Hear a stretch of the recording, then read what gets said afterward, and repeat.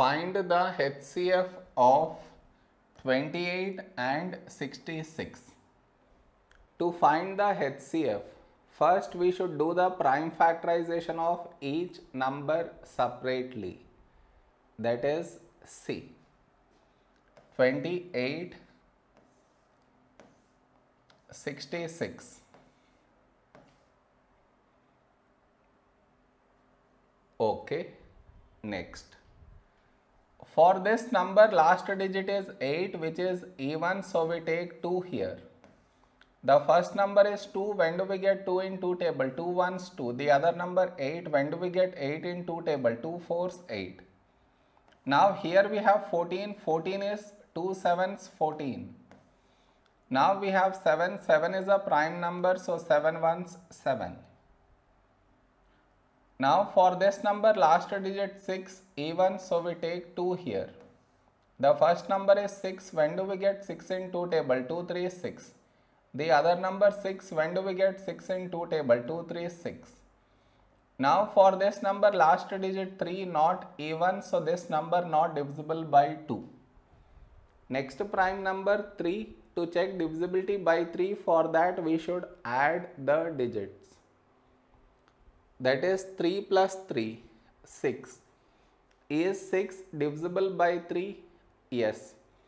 So this number also divisible by 3 so we take 3 here.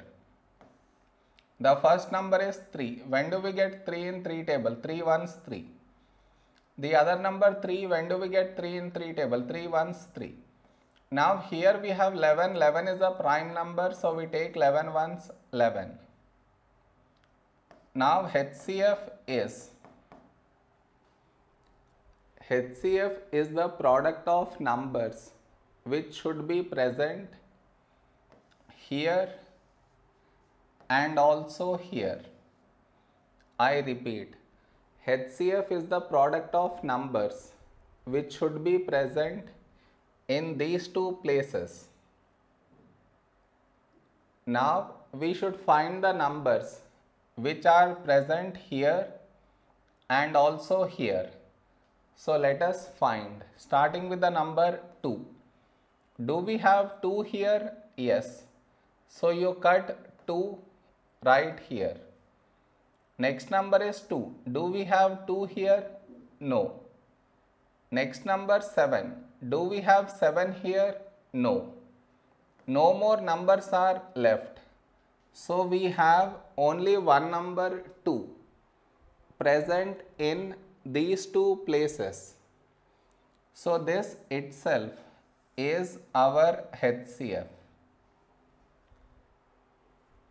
Am I clear?